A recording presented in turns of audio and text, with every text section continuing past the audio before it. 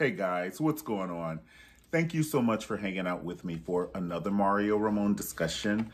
And today we're going to talk about the release of Bill Cosby from his uh, sentence. It was three to 10 years, and he served almost three of the three to 10 years. So he got out before three and way less than 10 okay? And of course you know there's so many comments about this below and everything but to me i think everybody is just putting so much emphasis like well first of all his lawyer uh, did a press release you know being a character witness for him. And you know my thing is nobody said sorry to the victims. You know what I'm saying? Like there's still victims out there and you you have to understand that, you know, um and, and I, it, it is alleged because I, you know, I wasn't there. I don't know, but I'm just talking about the the case at hand right now. The the the topic, the conversation at hand is allegedly or he was charged a court he, he was in jail so i don't know if i had to say allegedly but he was in jail for you know victims like he you know multiple ladies and, and, and people that he hurt. And that's my thing.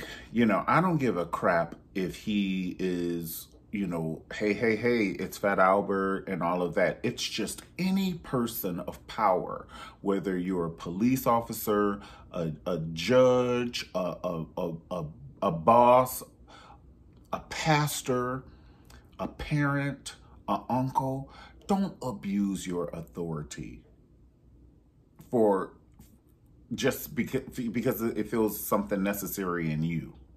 Whether you like to see you get off on seeing people fearful of you, you get off on it. It's a rush. You get off on it. Or, you know, and you want to hurt people in that way. Or if you're a pastor and you know people respect you and, you know, or you're a movie star like Bill Cosby and you know people respect you and they just want to be in a room with you and you take advantage of them and you know, and you hurt them. And that's the part that's not cool. And that's the, you know, everybody's like, oh, so listen, also who's hurt in this. So I just, first of all, before we, I move on, I want to say, you know, love and positive vibes, you know, to the victims and their families because their families had to go through it with them too. Imagine if your sister got hurt or your brother or your mother got hurt. Are you going to go home and watch Three's Company? No, you're going to stay there on the sofa and hug them and and hold them and, and you know and rock back and forth. Shit.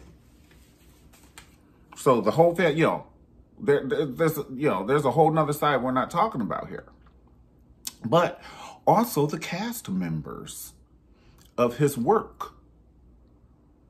You know, his work was in syndication. People were counting on that money, you know, to pay for their children's college we thought we was going to have residual income forever, especially on TV land. So, and then we the people, you know, and it's a part of history that has just been, you know, it's it's erased. And I do want to touch on how our greats always, you know, and and I want to just talk about people of color, our you know, black folk how our greats always are so phenomenal and so amazing and so captivative. And we capture the world at the time when we captured the world. Michael Jackson captured the world when it was his time. Whitney Houston captured the world when it was her time. Bill Cosby captured the world when it was his time. Prince captured the world when it was his time. Yo, we capture the world. Billie Holiday, the list goes on. And then, for whatever reason, our legacy is like people try and turn it around. People, that I don't know who the people are. It just seems to me that we can never have anyone great and then just let them go to rest. They were good. Like, I don't mean no harm, rest in peace to everybody I just named. And Princess Diana, for instance, Princess Diana, she can just rest good. What you gonna say? Oh, she wore beautiful gowns and a tiara they hurt her. You know, they as the people over there hurt her. You know, uh, that's probably what you're gonna say. But Whitney Houston, oh, she was on crack. Michael Jackson, he was on drugs. Prince, he was on pills. Luther Vandross, oh, he was gay. It's just like we could just, you know. And so my thing in that, in saying that is, even the legacy for the Cosby Show, that at that time they captivated the world. It was no ethnicity, you know. It was white people, black people, Chinese people, uh, Puerto Rican people, Mexican people. Every, all the people loved the Cosby Show. We love Claire Huxtable. And, you know, a part of us is gone. That's a part of us. That's a part of our DNA. You know what I'm saying? That's no different than hell. If you would, yeah. And my and my thing is this. That's the that's the thin line. Should you take away somebody somebody's credibility and the things that they've done? Not credibility because that's down the damn drain. That's down. You can flush that down the toilet with some boo boo. But their body of work based on you know what they've had going on personally should should the whole cast and should the we the people suffer? Because if they don't play it on TV or what if they stop playing you know certain music you know what i'm saying? Like what if they stop playing michael jackson because they say oh well this is him you know he's dead now. And what if they stop playing michael jackson or you know anything can happen you know what i'm saying? Then they just take away you know fat albert and the the the cosby show and get smart or you know all of it all of it it's just erasing you know our history What do you think about it? What do you think about it? Comment below. I would love to hear your point of view. So yeah, definitely comment below. Let me know what's going on with you. All right, let me just make sure I didn't forget anything. Um,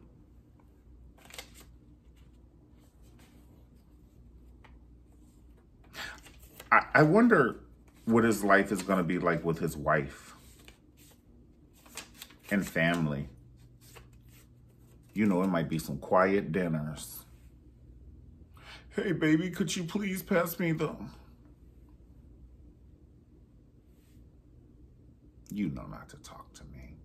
What did Shanae tell Gina? I don't like you, and you know that. Shit, you ain't got to hear it out in the streets. You know that. I ain't, uh, uh, uh, you you little, mm, mm, mm, I ain't, you. Hey, you little, you know what I'm saying? That's what she, Camille, gonna be telling him, Mrs. Cosby. And the thing, and once again, there's so many different facets of, of this one thing.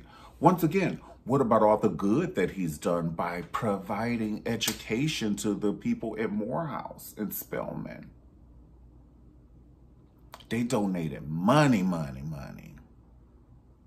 You know you got you didn't donate to somebody when they're gonna um, make a library after you or something like that. You donated some money, money.